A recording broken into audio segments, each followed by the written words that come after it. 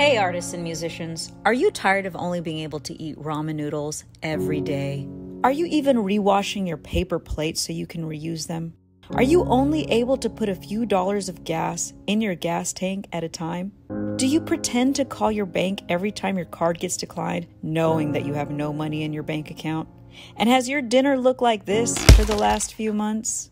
Well, then listen up, artists and musicians, because I'm going to be showing you guys how I've made a six figure income in music as an independent artist, how I bought me my own home, and how I've traveled the world with music.